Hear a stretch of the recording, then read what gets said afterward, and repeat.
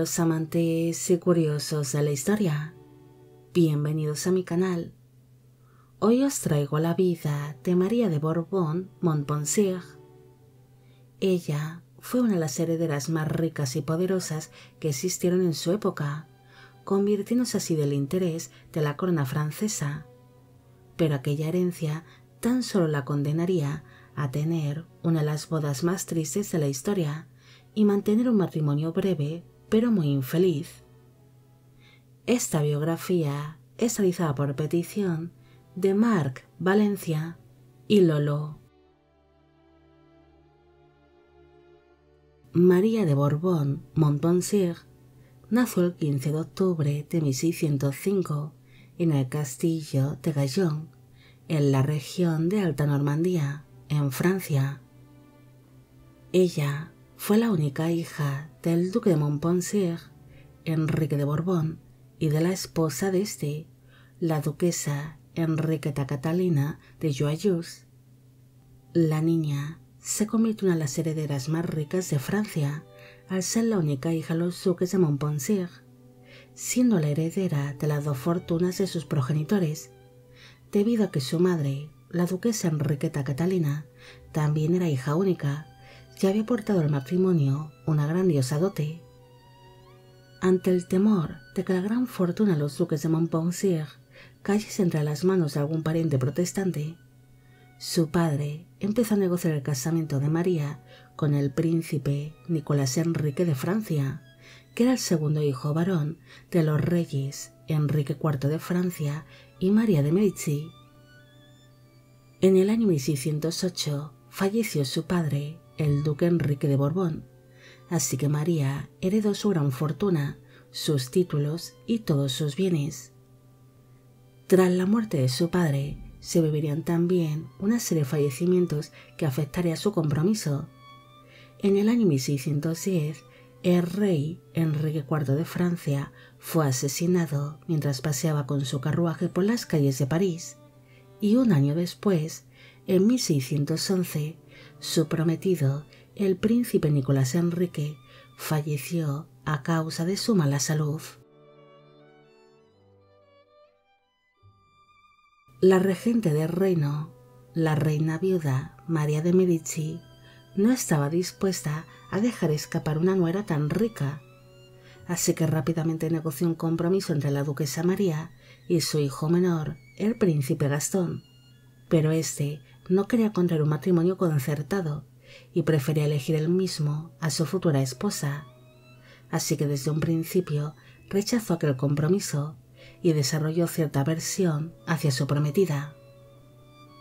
Gastón quería escapar de aquel compromiso, así que participó en una conspiración que se estaba gestando en contra de su propio hermano, el rey Luis XIII de Francia, la cual sería conocida como la conspiración de Chalet, donde se estaba tramando el asesinar tanto al rey como a la mano derecha de este, el cardenal Richelieu, algo que podría permitir a Gastón el sentarse en el trono francés y casarse con la viuda de su hermano, la reina Ana de Austria.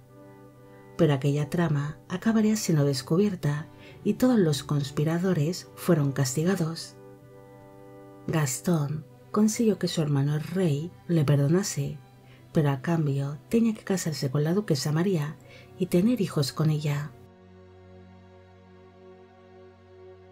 El 6 de agosto de 1626 se celebró la boda entre María y Gastón en la Catedral de Nantes, en Francia. Para entonces ella tenía 20 años de edad en el momento de la unión y él 18.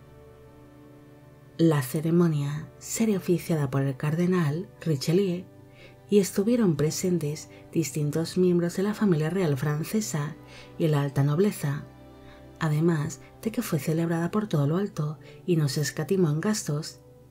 Pero pese todo el lujo y los numerosos festejos que se celebraron en honor a los recién casados, los novios no pueden ocultar su gran tristeza, siendo descrito aquel enlace como una de las bodas más tristes de la historia. Con aquel casamiento, su marido Gastón recibió oficialmente el título de Duque de Orleans y distintos territorios que serían incorporados a la grandiosa dote que entregaba María. Pero pese a convertirse en una de las parejas más poderosas y ricas de Francia, su matrimonio cada día sería más infeliz. María sería descrita por sus contemporáneos como una mujer de estatura baja, cuerpo delgado y cabello rubio ceniza, pero su marido no la encontraría para nada atractiva.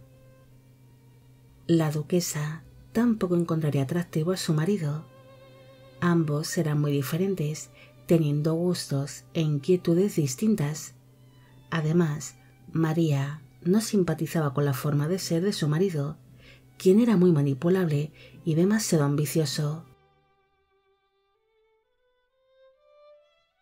Pese al rechazo que sentían ambos cónyuges entre sí, la pareja enseguida se dedicó a la misión de traer un heredero al mundo y la duquesa se quedaría rápidamente embarazada.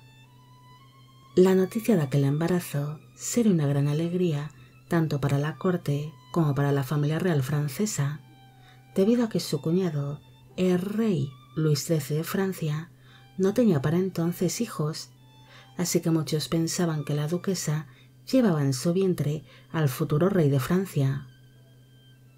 El 29 de mayo de 1627, María se puso de parto, pero aquel alumbramiento sería demasiado complicado y para decepción de muchos, acabaría alumbrando una niña que se llamó Ana María Luisa, quien sería popularmente conocida dentro de la corte francesa como la Gran Mademoiselle. La duquesa quedó muy debilitada con aquel costoso parto y acabaría falleciendo pocos días después de alumbrar a su única hija, muriendo el 4 de junio de aquel mismo año, a los 21 años de edad, en el Palacio del Louvre, en París, en Francia. Su muerte pronto despertaría una serie de rumores que decían que la duquesa había sido asesinada para que su marido se pudiese casar con otra mujer que le gustase más. En un principio se pensó que había fallecido ante la gran debilidad que sufría al padecer de un cáncer, pero la reina viuda, María de Medici, pidió que el cuerpo de su nuera fuese sometido a una autopsia para esclarecer el motivo de su muerte, averiguando así que había fallecido a causa de las fiebres puerperales.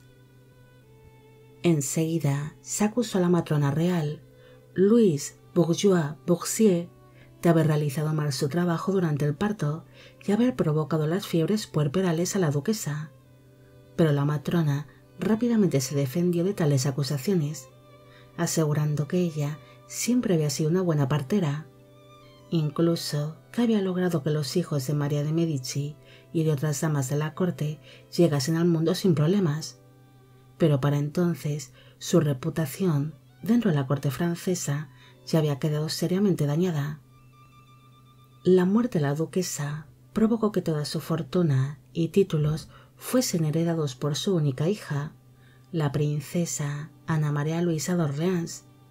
Pero como ésta no tuvo hijos propios, la fortuna pasaría al duque Felipe I de Orleans. El corazón y las entrañas de la duquesa fueron depositados en la iglesia convento de los capuchinos de San Honoré, aunque tal lugar fue demolido en el año 1804 y sus restos mortales descansan en la basílica de San Denis, pero su tumba sería profanada durante la Revolución Francesa. María fue una de las mujeres más ricas y poderosas de Francia, al ser la única heredera de sus padres, ya que por parte de sus dos progenitores heredaría una grandiosa fortuna, además de títulos nobiliarios, propiedades y terrenos. Pero ante el miedo de que esta envidiable herencia cayese entre las manos de la rama protestante de la Casa Borbón, se decidió que la duquesa se casase con un miembro de la familia real francesa, sin una manera de proteger su grandiosa herencia. Pero en verdad, esta decisión condenó a María a tener una vida breve y muy infeliz junto a su marido Gastón. La duquesa sería una víctima más de la sociedad de su tiempo, viéndose obligada a casarse con un hombre al cual detestaba y a tener hijos con él, solo por cuestiones políticas y económicas, llegando a tener una de las bodas más tristes de la historia.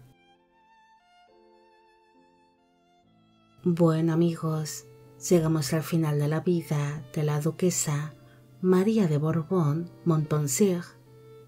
Espero que os haya gustado esta historia y espero que a Marc Valencia y a Lolo también. Como siempre, agradeceros todo el apoyo que recibe el canal. Mil gracias por ver los vídeos que voy realizando y quisiera agradeceros de corazón el que formáis parte de Biopic Channel. Hoy me gustaría saber qué os ha parecido esta historia y si conocéis a otras grandes herederas que como María tuvieron vidas infelices o finales trágicos. Y con esto me despido. Hasta la próxima.